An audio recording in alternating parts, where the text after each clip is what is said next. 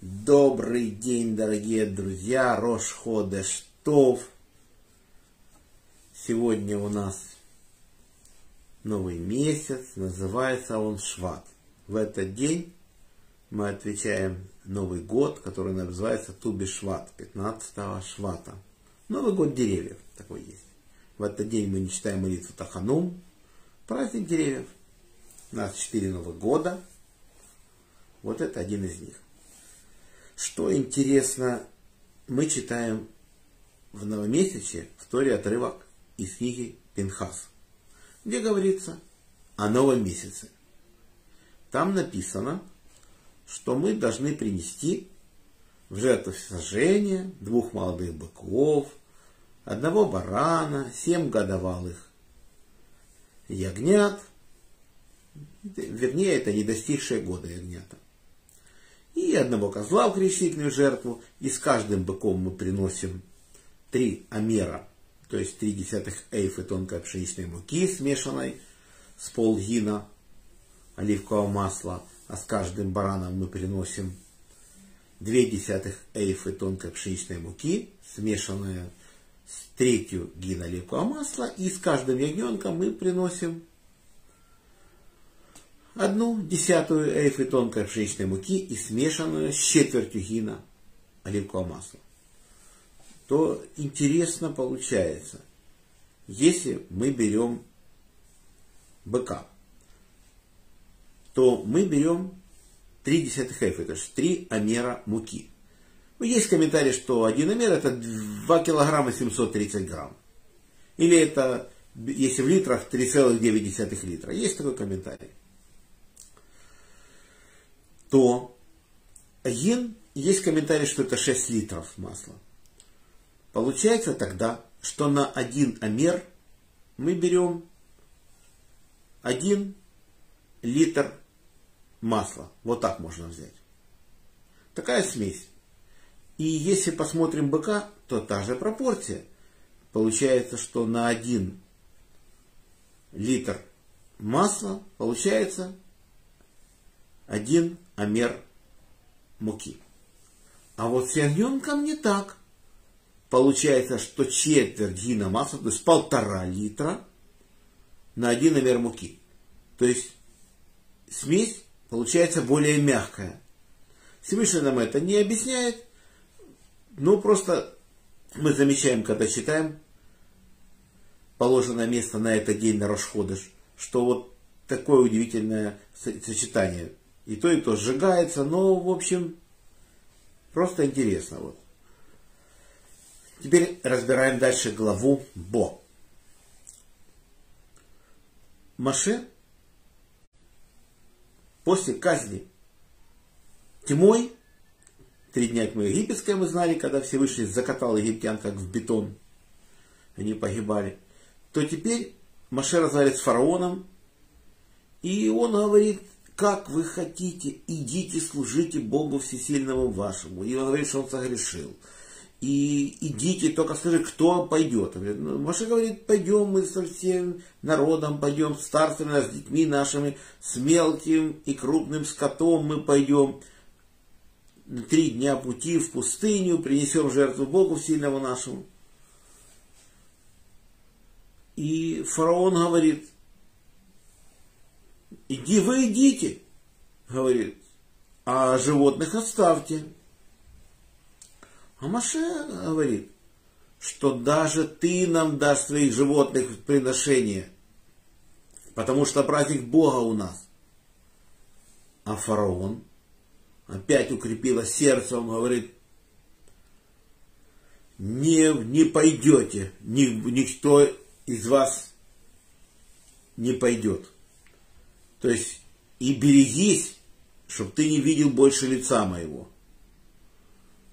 А Маше говорит, правда, не увижу я больше лица твоего. Или ты моего лица не увидишь. Вот так. Что это такое, лица моего не увидишь? Это Иосиф разговаривает с братьями. Он говорит, если вы не приведете меньшего брата вашего сюда, в Египет, то вы моего лица не увидите. То есть вы зерна не получите. Что это значит? Что это голодная смерть. если бы Иосиф не дал, не продал бы братьям зерна, то они бы погибли. То есть здесь то же самое. То есть, но Маше думает, что ему это удастся, но Всевышний нет. Всевышний говорит все-таки иди и скажи фараону, что я появлюсь посреди Египта ночью и умрет всякий первенец от первенца фараона, который должен сидеть на троне, и до первенца рабыни, который при жерновах, и все первенцы скота. Предупреждает его о страшной каре фараона. А Всевышний сказал Маше, что вы не уйдете с пустыми руками отсюда. И мы это знаем, что Всевышний это уже говорил нашему праотцу Аврааму. Это было 500 лет назад. Не 500, а 430 лет назад. Он ему сказал, что потомки твои будут в чужой стране, угнетать их будут 400 лет, потом выйти с большим достоянием. То есть вы не уйдете с пустыми руками. И Всевышний сказал, что попросит женщина у соседей своих вещи, вещи серебряные, вещи золотые и опустошите Египет. Ну так вот. То есть Маше сказал это фараону и сказал, что такое-то случится. И рассказано про одну знатную египтянку. Она говорит, ну у меня никого нет. У меня уже нет сын мой, уже умер, и меня эта казнь не коснется. Маше же ей сказал, ты будешь страдать еще больше, чем другие. И действительно, впоследствии мы знаем, что когда Всевышний навел эту кару, то собаки разрыли могилу ее сына и вытащили останки, и она действительно очень страшно страдала от этой казни. Всевышний сказал, что вы должны взять себе ягнят на, на общий дом, на общий дом и из овец или из коз берите, ягненок, не достигший года без единого порока, и их вы принесете в жертву, которая называется жертва Песах.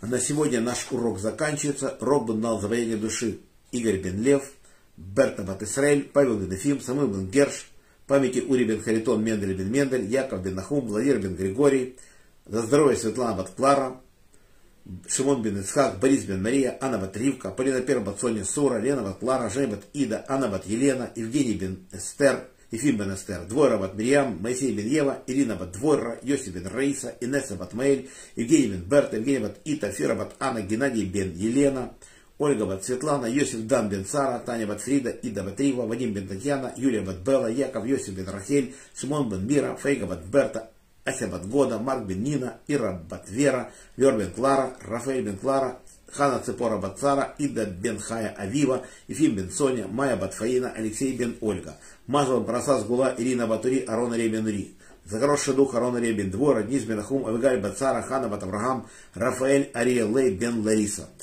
Парасай блюд Владимир Бен Рая, Марина Батрая, Борис Бен Марина. Всего хорошего Олегу Марченко. Всем браха, парнаса, кавана, мазал то, что мы это время не грешили, читали Тору.